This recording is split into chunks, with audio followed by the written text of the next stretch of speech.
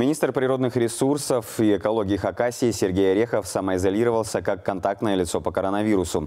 У одного сотрудника министерства выявили COVID-19 и пятерых, кто с ним общался, отправили по домам, в том числе и Орехова, на две недели.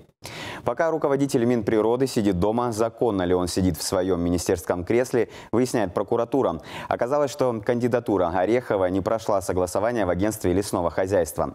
Получается, формально он не имеет права как министр природы проводить какую-либо деятельность, связанную с лесом. В этом уверены активисты ОНФ. Кстати, именно Общероссийский народный фронт и направил запрос в Федеральное Минприроды, откуда и прошло разъяснение, что кандидатура Сергея Орехова действительно рассматривалась, но была отвергнута.